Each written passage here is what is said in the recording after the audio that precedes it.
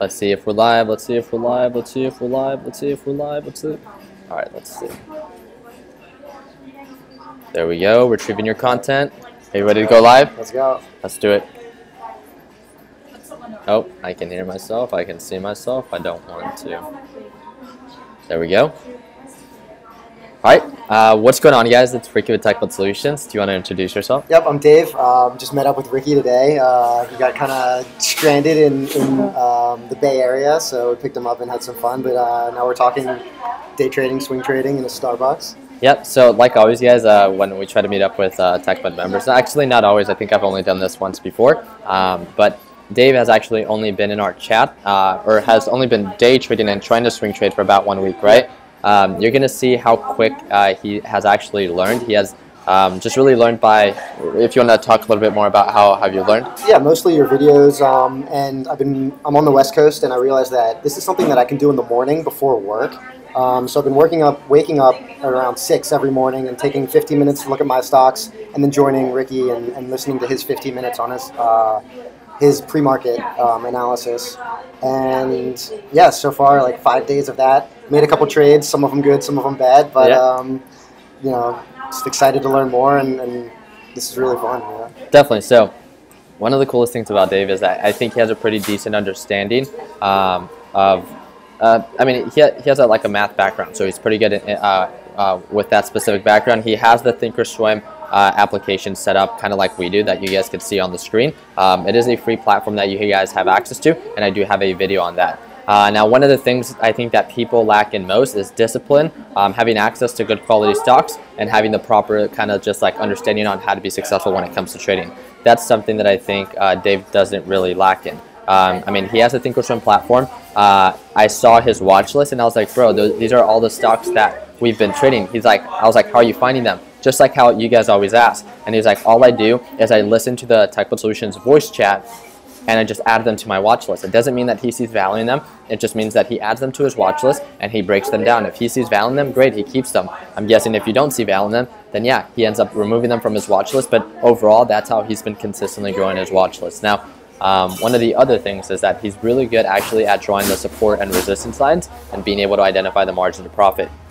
I think the only thing that um, I mean, he was recently telling me about you know him really wanting to focus on swing trades, uh, just because obviously someone that has uh, you know a career going on. Um, right now, right, you, you have a little bit more availability, but realistically, um, in the grand scheme of things, like he's gonna want to make sure that he can take advantage of opportunity uh, that's realistic and that he can do it um, by still being able to do it with a job and stuff like that. So I think that's something that we're going to be focusing on. We're going to be talking about day trades, swing trades, and uh, let's try to keep it within 10 minutes, and uh, that's going to be because I jabber around a lot. So feel free to ask your questions. Yep. Um, and I actually want you, if it's okay, Yep. on my Thinkorswim, uh, for you to start breaking down stocks. And uh, I hope that you guys can use this as like a learning experience. If he has any questions, I'm sure that they might be similar questions that you guys might have as well. Um, and then we'll get to answering all your questions personally at the very end. So um, if you kind of want to go down the list, then. Yeah. Uh, you let me know if you see value in it, you know, the desired entry point, sell point, you know, what it is that you would want it to do and stuff like that. So All right, we're gonna start at the top. let's do it. So my watch list is organized by volume from top to bottom. I told you I find that to be one of the most important things. Um, and if you guys saw that right away, he went to the 180 day chart. Why is it that you did that? Uh, and I usually was trading in, in um, a much smaller uh, time time axis because um, I was more interested in day trading and I was kind of seeing how the stock was behaving recently.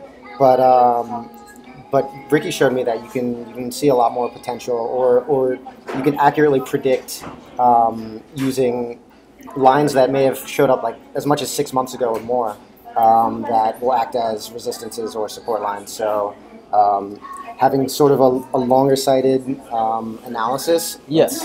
I think having like a better understanding on how the stock has been doing within the past year can give you a better understanding that, you know, within the next couple of days for the day trades or swing trades, you have a better understanding that, you know, is this a day trade or is this a swing trade? And is this a stock that I feel comfortable holding if I have to, right? Um, so Cool. tell me what you think about TEVA. So teva uh, had a huge sell-off right here, and um, you know, sort of bounced up around here and, and hit a low around 1380, um, and then bounce back up. And this, look, what do you call this? A cup and handle? Um, yeah, like it kind of built a cup trend, yeah. Sort of a cup. Um, and so sorry. As so as it broke through here, it came down and it didn't break back down through the support, um, and it, it um, you know rose back up. But then this time it broke down below the EMA and broke down through the support, and is now kind of um, sort of looks like it's has a overall downward trend. Um, but let's see. We can just zoom out, Yeah, right? You can just zoom out.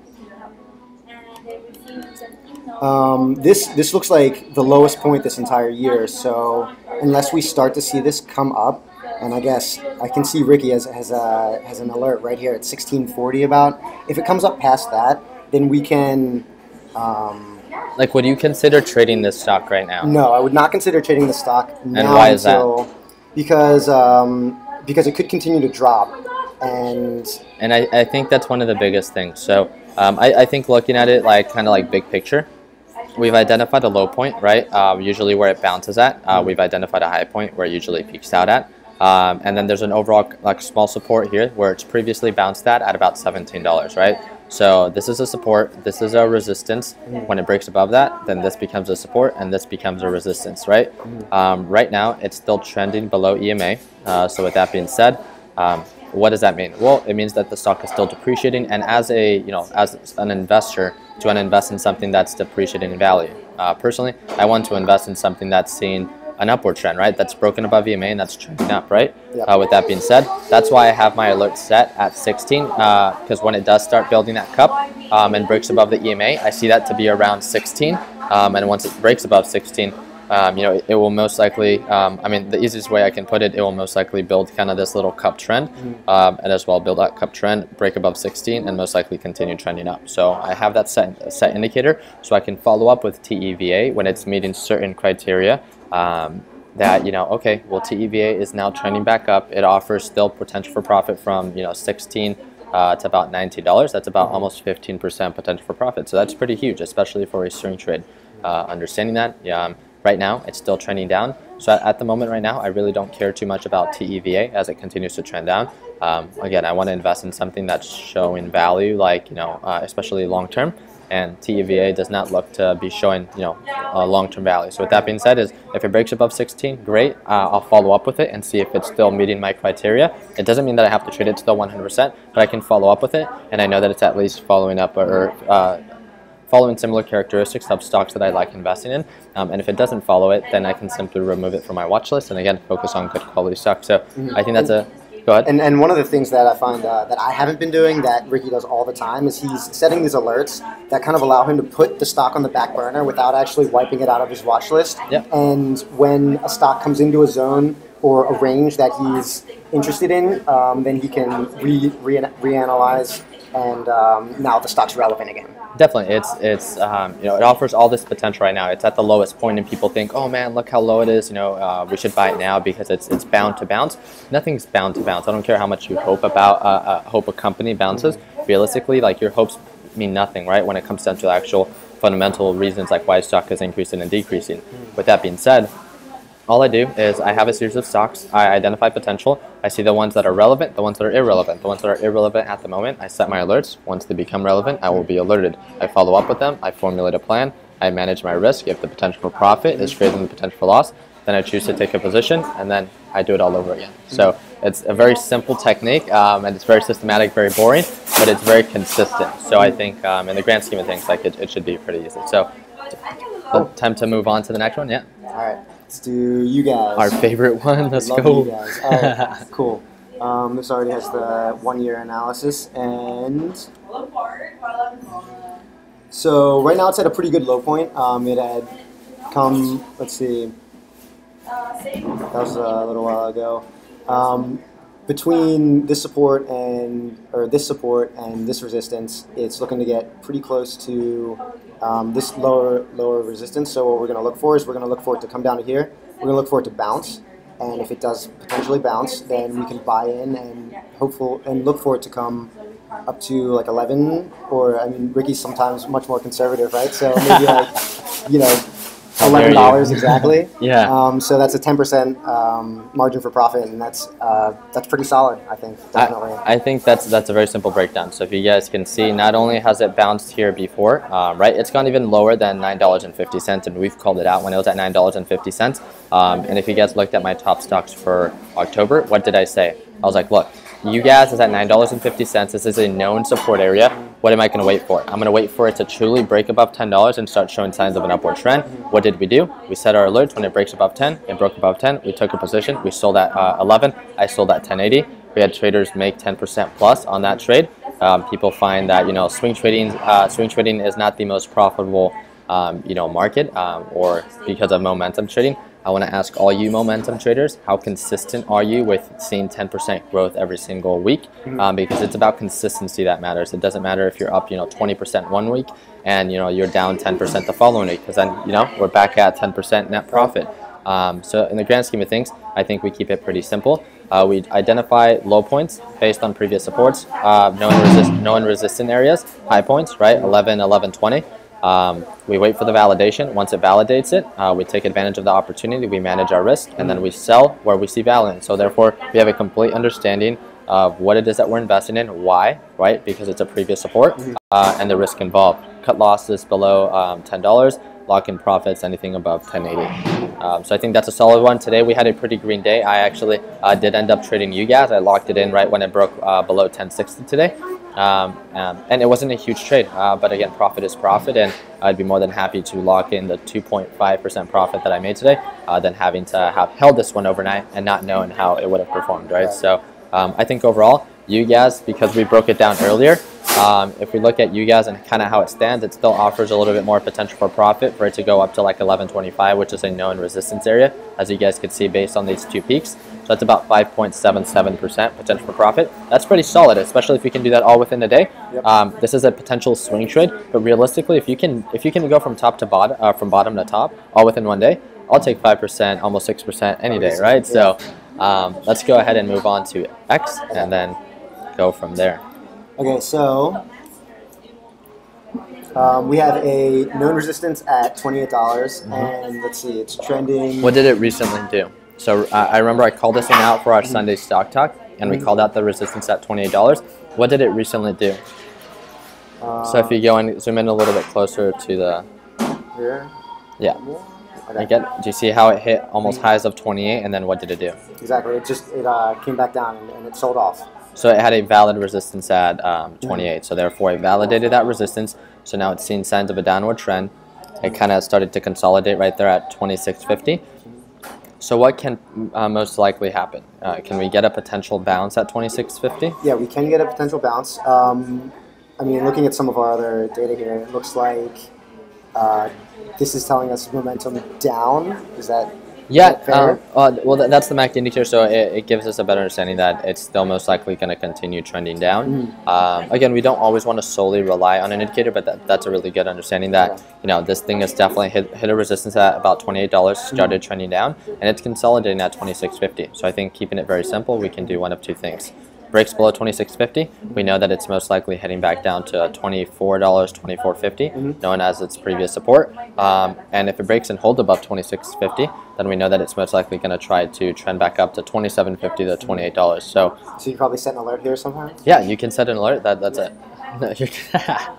you got it. So Uh, free alert great alert. for like what? I'd say twenty six seventy five. Seventy-five. At or above, I think that. Oh, okay, you got it. Sweet, sweet. Okay. Cool. And then uh, let's set an alert when it goes below it. So it looks like the all-time low. If you hover right below one of that, one of those whiskers, uh, right there.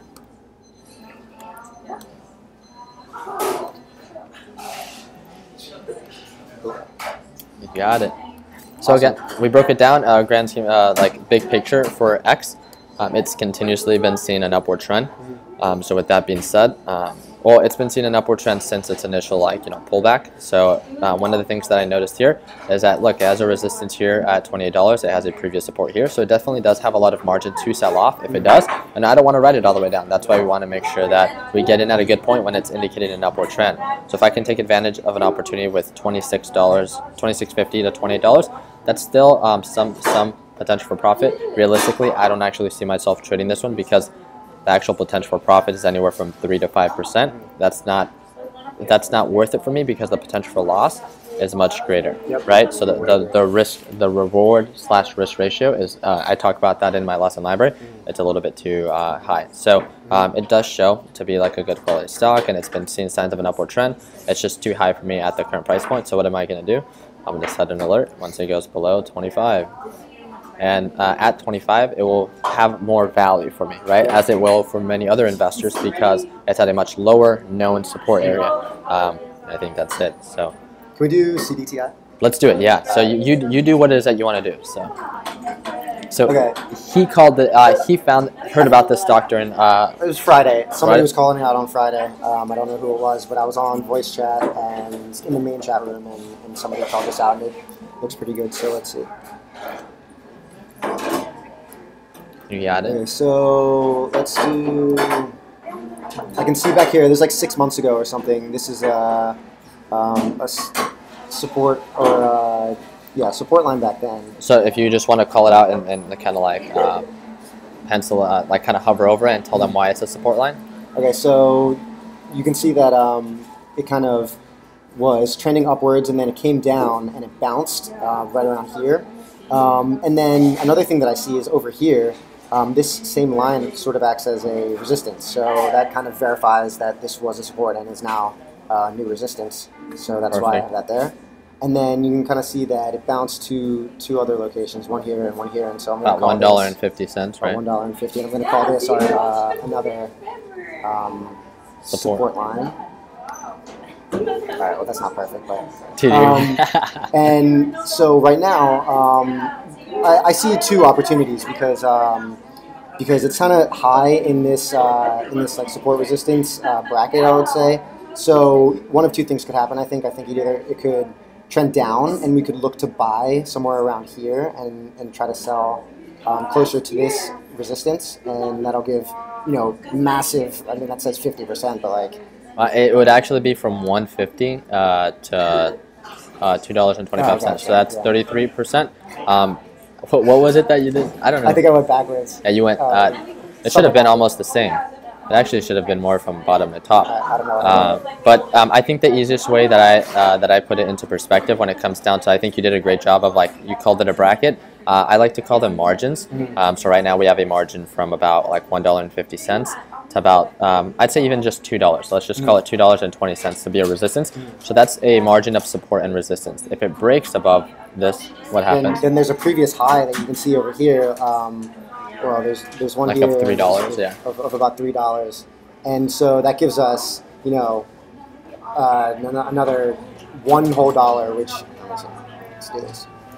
Um, 28%. So, so I think actually these two margins are pretty similar to each other. Yeah. Um, what did I do? I don't know how I got that 50. no, it's it's because I think you're going from uh, top to bottom. So, so yeah, you're good. No, you're good with that. And so, okay, so so let's set some alerts. Let's go in here. Um, we know that if it continue, continues to trend up, and what we say 220, Yeah. um, we're gonna want to set an alert here. And that's actually a little close because you can see that it's at 219 actually at the market price. Let's set it at 230. 230. And so if it breaks above this, then we're gonna look to verify that it's on an upward trend, and we're gonna see if it's um, if it shows value to us that we can buy into uh, that upper margin, or it could potentially um, start going down. And I would say, to zoom out just a little bit more. Um, I would say maybe somewhere around here at 175. if it comes down here, then we can start looking. Maybe it'll keep dropping, and we can get in at a lower price.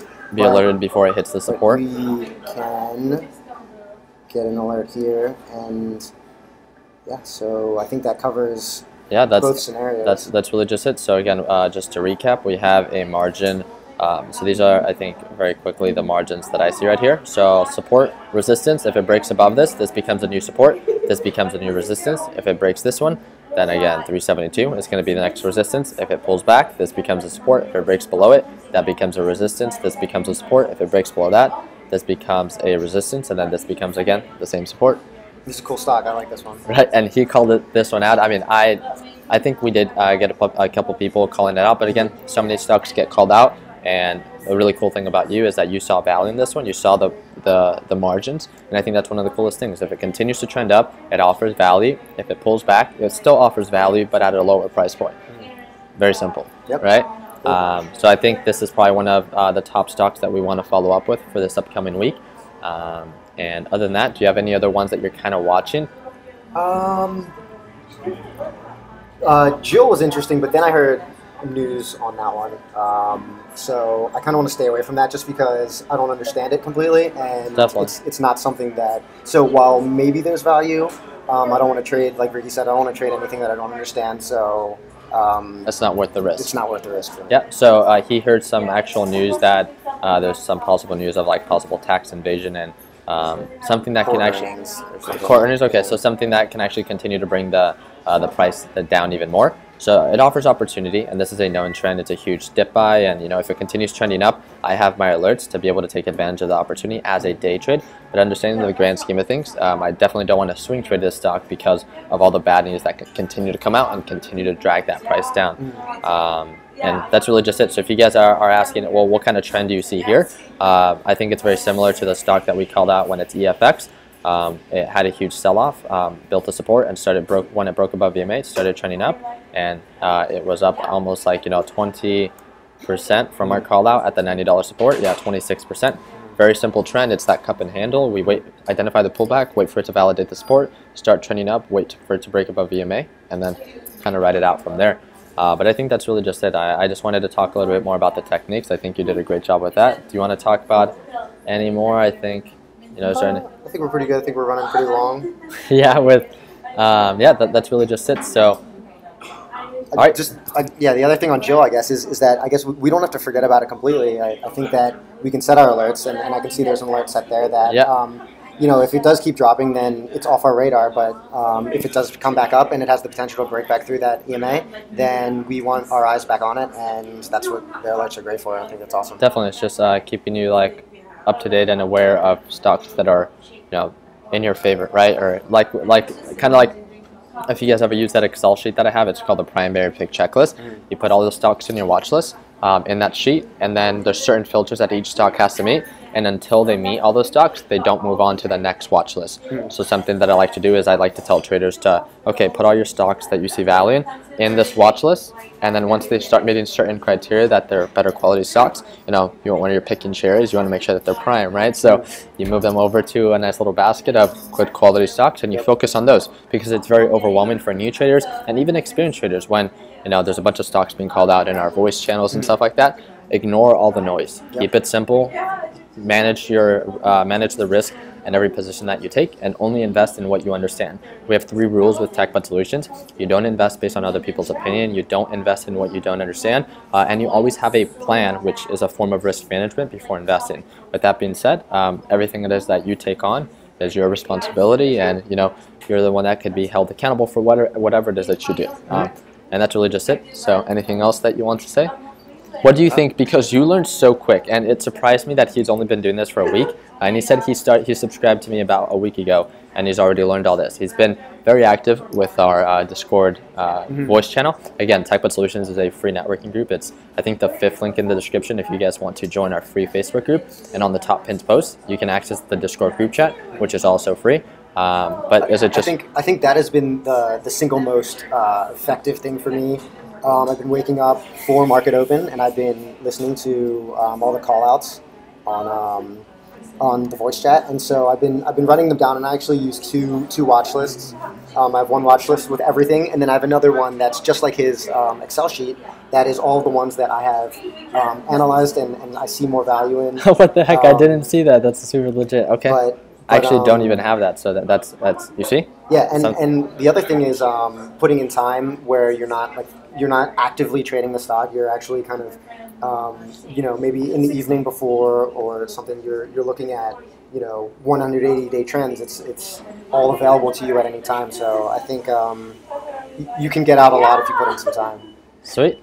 Um, but other than that, guys, um, thank you guys again for tuning in. If you guys found this video helpful, feel free to give the video a thumbs up. Thank you again for my friend Dave uh, for finally meeting up, dude. I can't. He, he literally drove me everywhere in San Francisco. It, it turned came out to be um, a very like it was originally like a very like useless trip uh, for what it is that I originally came out for, and then ended up coming. I made a new friend. I hoping hoping to work together in the future, and uh, it, it's just um, so amazing that we uh, we get a that I get like you know the opportunity to work with like you know such he's he's so smart. It's my pleasure as well. Definitely. To. Um, but other than that, um, thank you guys for, again for everything that you guys do. Continue working hard, continue following dreams, and let your passion be what drives you in your success. I do want to remind you guys, our mentorship program is officially sold out for this first uh, month session. Um, for all those that still want to be part of the lesson library and want access to a little bit more structured content, that's going to be the first link in the description, and it just pretty much sums up of my you know over 500 YouTube videos that I have on YouTube um, and they're brand new videos uh, into a little bit less than six hours of content.